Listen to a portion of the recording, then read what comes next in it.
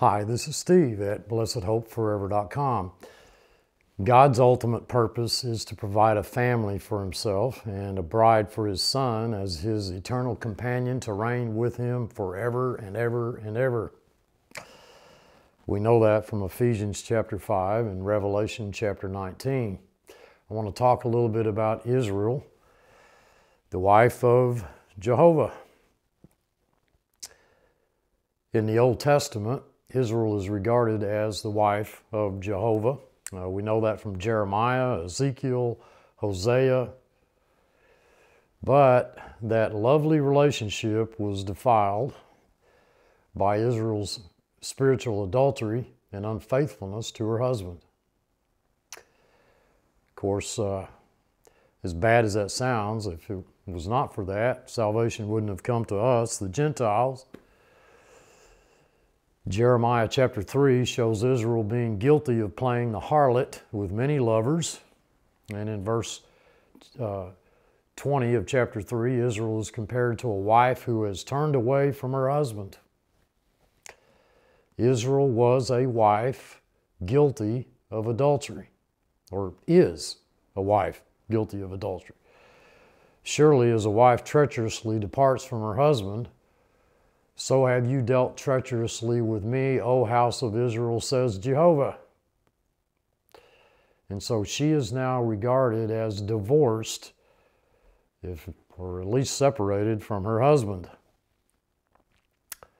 Jeremiah chapter 3, verse 8 And I saw when for all the causes whereby backsliding Israel committed adultery, I had put her away and given her a bill of divorce Yet her treacherous sister Judah feared not, but went and played the harlot also. Now, folks, bear with me because this does get interesting and you're going to find out where your place is in all of this. There will be a glorious future restoration of Israel to her husband. The restoration of Israel as Jehovah's wife is described in Isaiah chapter 54, verses 1 through 8. And the remarriage is further described in Isaiah chapter 62, uh, Hosea chapter 2, which depicts the courtship and the wooing in the wilderness and shows the many results of the reunion. Now, in contrast, the church, that's you and I, members of the body of Christ, the church, we are the bride of Christ. Paul, in addressing the Corinthians, says, For I am jealous over you with godly jealousy, for I have espoused you to one husband, that I may present you as a chaste virgin to Christ. That's 2 Corinthians chapter 11. Now, language like this could not be used of Israel. Israel will be forgiven and restored as the repentant wife of Jehovah, but not as the chaste virgin bride of the Lamb. So there's a distinction that we have to make between the wife of Jehovah and the bride of Christ. The relationship between Israel and Jehovah is dramatically different than that of Christ and his bride. Perhaps the most significant difference is that the marriage of Jehovah to Israel occurred in time past, whereas the marriage of Christ with his bride has not yet taken place. And this is what we anticipate as believers in Christ as we await the translation of the church. The great doctrinal passage of the bride of Christ in the New Testament is Ephesians chapter 5, verses 25 through 33. In his affectionate relationship, seven ministries are outlined which Christ performs for his bride. In the past, he loved the church and he gave himself for it. Now, this, this reaches from eternity past up to the cross. In the present, He sanctifies, cleanses, nourishes, and cherishes it I hope that uh, if you, I just I ask that you pay close attention to this because this gets really good at the end here. In the future, Christ presents the church to himself. Revelation chapter 19, we know from the 19th chapter of Revelation, let us be glad and rejoice and give him glory, for the marriage of the Lamb has come and his wife has made herself ready. And to her it was granted to be arrayed in fine linen, clean and bright, for the fine linen is the righteous acts of the saints. The righteous act of the saints. We have been imputed with Christ's righteousness. All righteousness is of the Lord. Then he said to me, Blessed are those who are called to the marriage supper of the Lamb. And he said to me, These are the true sayings of God. The marriage and the marriage supper of the Lamb are described in the 19th chapter of Revelation. The fact that she is called the Lamb's wife shows that the marriage has already taken place. Already taken place. The marriage takes place in heaven. The supper will take place on earth at his second coming. And we, we want to make sure that we distinguish between these two realities. Many will come from the east and the west to take their places at the banquet. We read that in Matthew chapter 8. In John chapter 3, John the Baptist, referring to Jesus, said, The bride belongs to the bridegroom. The friend who attends the bridegroom waits and listens for him and is full of joy when he hears the bridegroom's voice. That joy is mine, and it is now complete. John the Baptist, John the Baptist who preached the gospel of the kingdom, which was postponed, which is preached again after the church is gone. He was the forerunner of the Messiah, and as the last of the law and the prophets, he didn't regard himself as part of the bride. He called himself the friend of the bridegroom. The fact that John the Baptist calls himself the friend of the bridegroom in the third chapter of John indicates that he and the glorified Old Testament saints, called the spirits of just men made perfect in Hebrews, and the tribulation saints, the tribulation martyrs, would be among the guests at the wedding. Okay? Now, the word bride is used three times in Revelation 21 and in chapter 22. The first two occurrences refer to the holy city, the New Jerusalem, descending, coming down from God out of heaven In the closing verses of the Bible, we find the third mention in Revelation chapter 22, verse 17. We're told of the present yearning on the part of the bride for her bridegroom, the love of her life. Think about it, folks. The Spirit and the bride say, Come. To the dearest object of his heart and eye, Jesus replies in verse 20 and says, Yes, I am coming soon. I am coming soon. This is what we anticipate as the body of Christ. The second advent of Christ, the Old Testament tribulation saints re- resurrected, the heavenly city, New Jerusalem above, the resurrected King David on the earthly throne. Uh,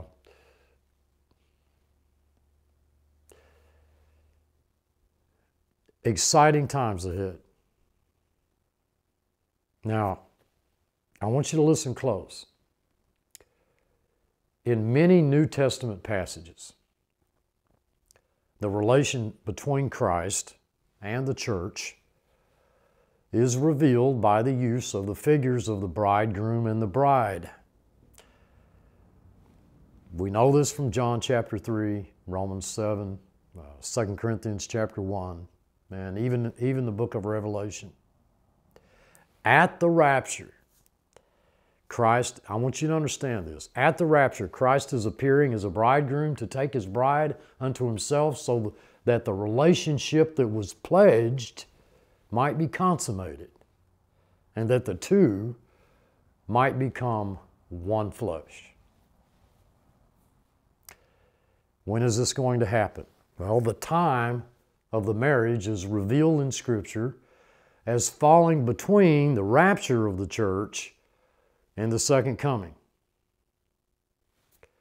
Prior to the rapture, the church is still anticipating this union.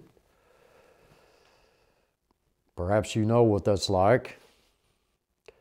According to Revelation chapter 19, this marriage has taken place at the time it's already had it's already taken place at the time of, of his second coming, the second advent, because the declaration is, is the marriage of the Lamb is come.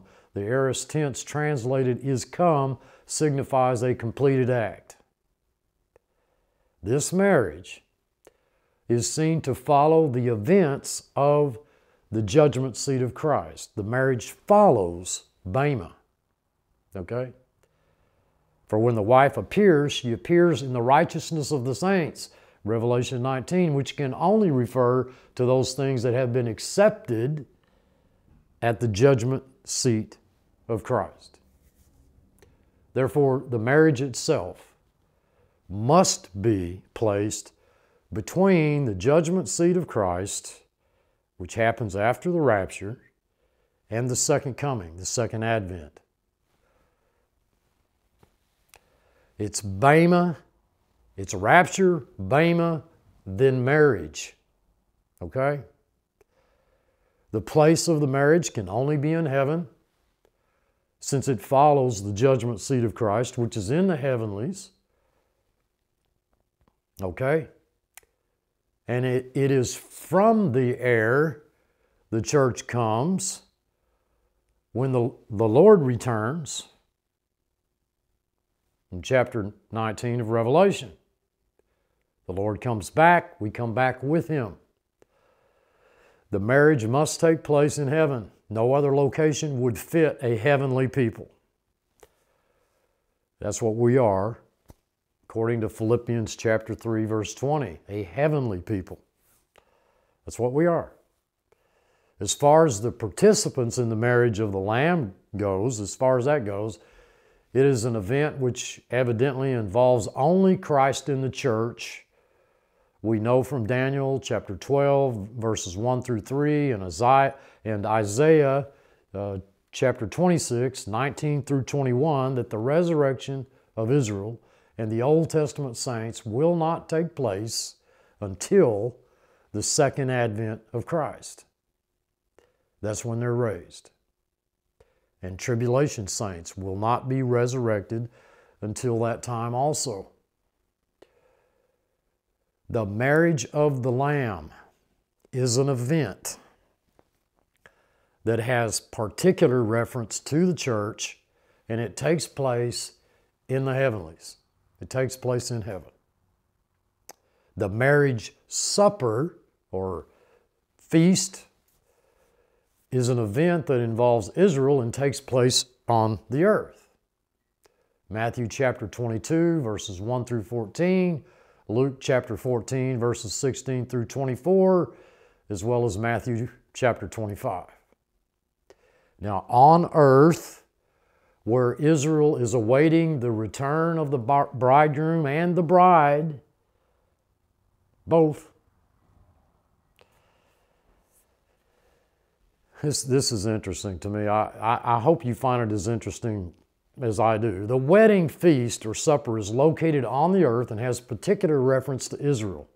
The wedding supper then becomes the parabolic picture of the entire millennial age to which Israel will be invited during the tribulation period which invitation many will reject because they're not elect, okay, and be cast out, and many will accept and be received because they are God's children, God's elect. And because of that rejection, the gospel will likewise go out to the Gentiles so that many of them will be included. Israel at the second coming, the second advent, will be waiting for the bridegroom to come from where? From the wedding ceremony. And invite them to that supper at which time the bridegroom will introduce his bride to his friends, Israel. Ever been to a wedding? Sounds familiar, doesn't it? Now, folks, this is a love story. That's what this is. It's a love story. In reference to the announcement in Revelation 19:9, blessed are they which are called unto the marriage supper of the Lamb.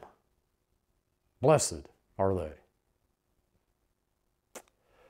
So distinction is made between or we need to make a distinction between the marriage supper, which is in heaven and celebrated before Christ returns, and the marriage feast, Matthew chapter 25, uh, Luke chapter 12, which is on earth after his return.